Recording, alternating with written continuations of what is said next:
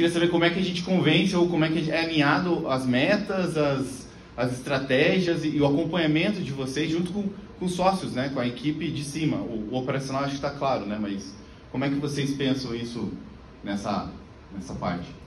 Tem alguém mais que toma decisão junto contigo sobre decisões estratégicas? É, se tem, traz para cá. É que às vezes o cara fala, não, é, o cara está querendo vender mais um só. Cara, traz, porque o que vai acontecer é que no final do primeiro dia você vai querer, você vai falar assim, puta que pariu, ele devia estar tá aqui. Ou o gestor, ou o teu sócio. Então, a primeira coisa. Mas assim, a primeira coisa que eu pergunto é, quem é dos sócios que é responsável pelo departamento comercial? Então, vou fazer um spoilerzinho da minha parte ali de, de controle de objeção, mas para responder isso. Se você que está aqui, lembra das camadas, meu primeiro slide? Você acessou 34 mil camadas aqui. Quando você voltar lá, o irmão, o marido, o pai, ele está 34 mil camadas abaixo. Então é como se você voltasse a falar russo e ele só está falando português. Você volta falando russo para sua empresa, ele está falando. Só que você sabe exatamente tudo que você está falando de russo. Mas ele não tem a menor ideia daquilo lá.